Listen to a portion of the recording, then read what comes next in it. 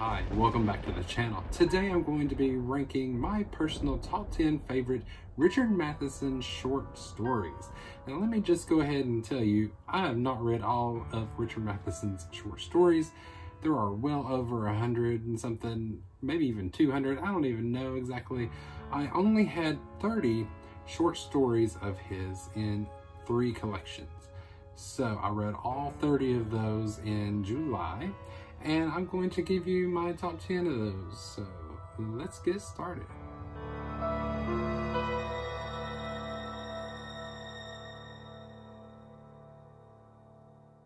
You know that old saying that goes something like, you get back what you put out into the world. Well, this is exactly that story. 1952's Madhouse is about a middle-aged college professor named Chris who is completely miserable in his life. He hates his job, he hates his boss, he hates his wife, he is not happy in his marriage. He blames Sally for not following his own dreams of becoming a writer even though he still tries to write every now and then, it's just little things start irritating him over the years and he's not sure where his anger came from. It just kind of built and built over the years. And so every little thing irritates this man. when he tries to sit down and write, if his pencil lead breaks, he breaks the whole thing and throws it in the garbage, or if he's typing on the typewriter and the keys, the little strikers stick together, infuriates him so much. And so that anger has to go out into the world, or more specifically, into the house. Seemingly bad things happen to everyone in the world, you know, little things like you can be walking and the carpet runner slips and you might trip a little bit, or you cut yourself shaving, or, you know, just little things that irritate you. All these little outbursts are creating this phenomenon. And his college professor friend, which I use that term loosely because he doesn't like anybody, tries to tell him exactly what is happening and he doesn't want to hear it.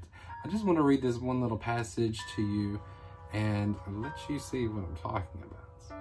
This is the professor friend talking. Where do you think that temper of yours goes? Do you think it disappears? No, it doesn't. It goes into your rooms and into your furniture and into the air. It goes into Sally. It makes everything sick, including you. So basically, Chris's temper and anger and lashing out in this house is creating this phenomena where things are starting to maybe come after him. They're tired of taking his abuse. So this was a really different story and yeah, you better be careful what you put out into the world.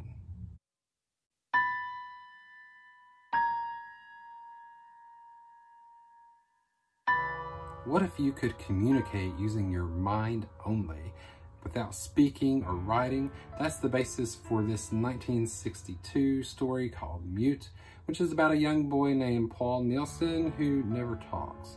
After a tragic house fire kills his parents, Paul is found in the woods by the local sheriff and is soon taken in by him and his wife Cora. Now Cora quickly becomes attached to Paul and tries to get him to talk, but he is just not having it. He will not speak at all. And so they come to the conclusion that his parents never taught him to speak. He's never been in school. So the sheriff decides, you know, he's going to try to find some relatives of Paul's that can take him in, well, he writes letters to, I forget where he finds the addresses and the names of these people, but he sends them out to four different countries. I think one's in Germany, one's in Sweden, some other places. But Cora has become attached to him and she burns those letters because she wants to basically take care of him because they lost their own child, David, I think it was, several years ago. So he takes over David's room and every day she tries to get him to speak, but she soon realizes that she can kind of pick up what he's thinking. The sheriff decides that he needs to be in school, so they enroll him in school with this teacher named Miss Frank, who is very disciplinary and very forcefully tries to get Paul to even say his own name every day. So one day this man comes looking for Paul because he's not heard from the family in months and it's the first time he's been able to leave the country or the city or whatever to go find out what happened to them. And once he finds the sheriff and Cora, it's discovered that Paul's in school, which horrifies the man. He doesn't want Paul to speak because words are harsh and can kill this psychic ability.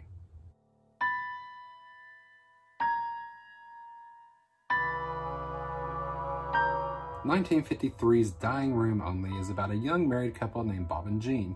They are traveling through the desert. They're tired, they're hot, they're hungry. It's been hours since they've had a break or eaten anything, so they decide to pull over and stop at this little cafe they come across on the highway. There are only three men in the establishment, one being the cook, who treats them very rudely. I think once they start to order, one of the men leave. Well, Jean decides after they place their order with this asshole cook that she's going to go to the bathroom. A minute or so later, Bob decides to do the same. So when Jean returns, Bob is assumedly still in the bathroom. And so she's sitting there and she waits and she finally gets her food and she asks one of the men that recently came out of the bathroom if her husband was in there. And he's like, no ma'am, I'm sorry was empty. So she's like, well, that's odd. So she starts to assume that something is wrong. So she asks the men to go in and check on him. And so eventually, reluctantly, the cook opens the door and shows her that no one is in there.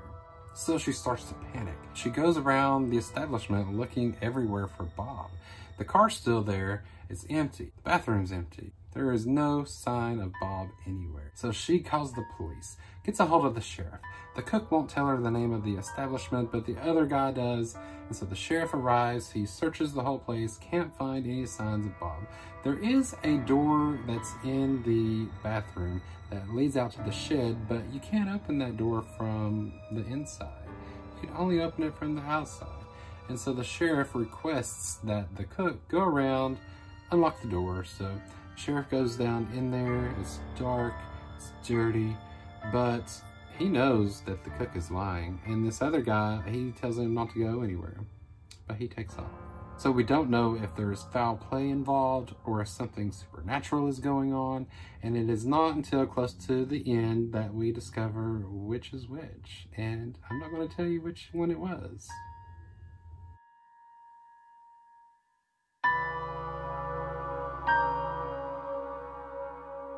1989's Person to Person is about a man named David Millman who awakens in the middle of the night to his telephone ringing.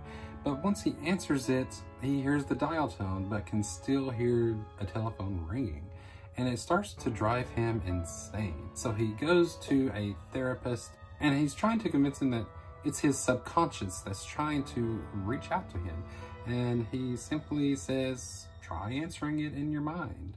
And that's what he does the next night. Once the phone starts to ring, he answers it, and a voice says, It's about time. At first, the man says Millman is part of a secret government project where a microscopic phone has been implanted inside his brain in order to relay messages from secret government agents. After more therapy sessions, Millman confronts the man, saying he doesn't believe his story, and so the guy changes his story. He says he's an inventor who has created this machine that radiates short-wave energy that penetrates the mind, enabling two-way conversations with them, like psychically. But once Millman calls bullshit, the man's voice becomes recognizable as Millman's dead father, who was always abusive to him. Dr. Palmer tries everything he possibly can to get Millman to believe that it is only his subconscious and he is in total control of the situation and tells him simply to just hang up on this guy next time he calls. And so once he tries to do that, the guy on the other line mocks him and says, it is too late. You'll never be able to hang up now, David.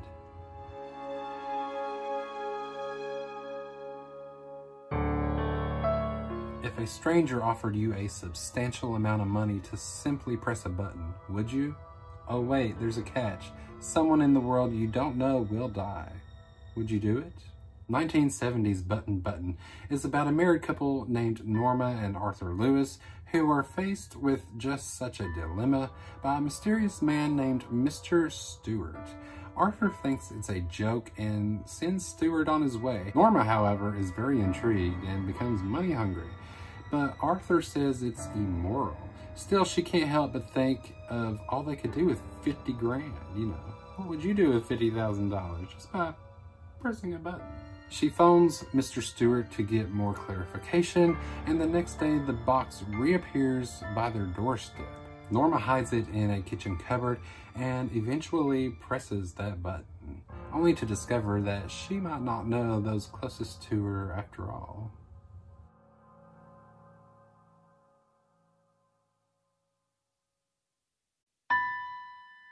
1969's Prey is a story about a 33-year-old woman named Amelia who is torn between spending the evening with her new beau, Arthur. After all, it is his birthday and she just bought him this unique little present, or her controlling mother.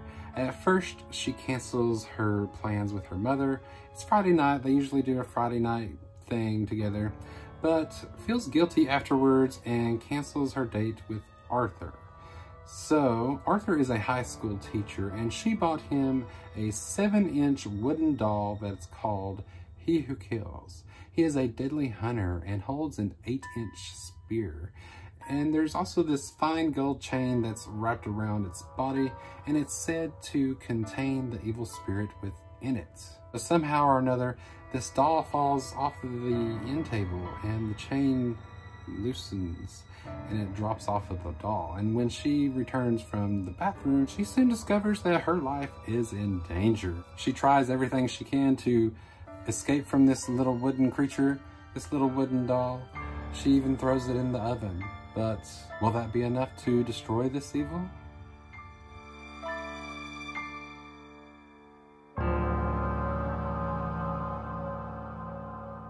If your significant other had the power to dream the deaths of real people, local people, would you help them nurture that gift in order to save those people's lives? Or would you withhold that information from these families in order to capitalize on their misfortune? That is the basis for the 1963 story Girl of My Dreams.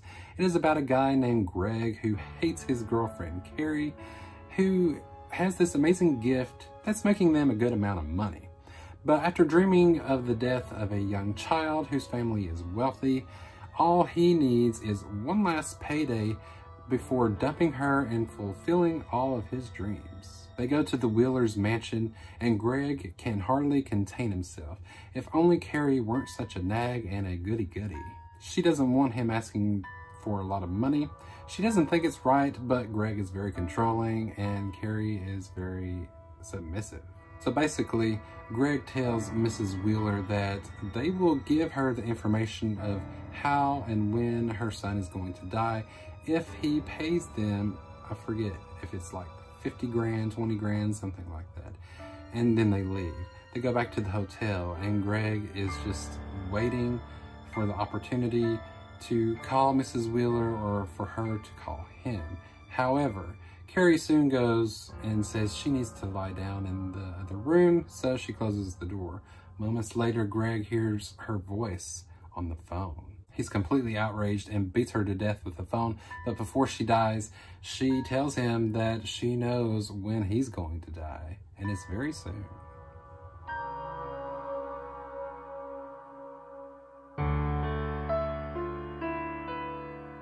1960s From Shadowed Places is a story about some black magic. Dr. Jennings rushes to his daughter's fiance's New York City Manhattan apartment after a frantic call. Once he arrives, the place is ransacked and he finds Patricia cradling her naked fiance, Peter, laying on the floor. She says that he tried to jump through the window to commit suicide. He's in terrible pain it hurts to move. It hurts to have clothing on.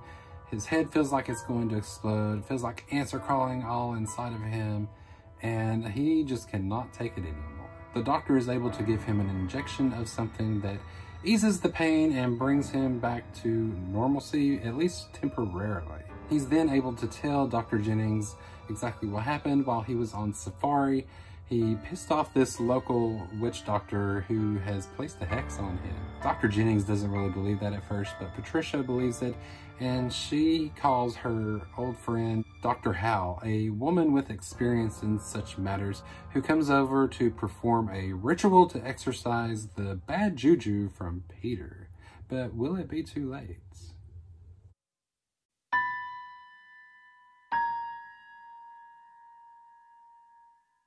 1961's classic Nightmare at 20,000 Feet is about a guy named Arthur Jeffrey Wilson who is a bad flyer but needs to take a DC-7 to California for business. He's fidgety, nervous, and unable to sleep.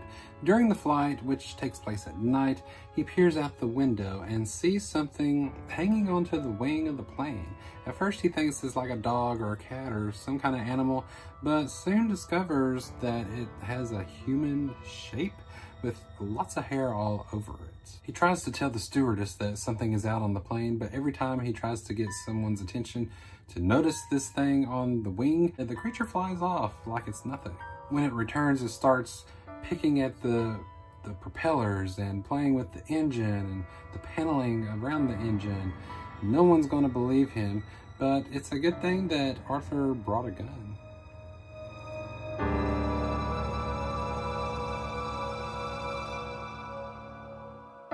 Absolute favorite, Richard Matheson story is another one of his most popular, that is 1971's Duel. This is about a guy named Mann who is driving to San Francisco on business and takes the scenic route instead of the interstate where he unwittingly begins this cat and mouse game with a deranged semi-truck driver.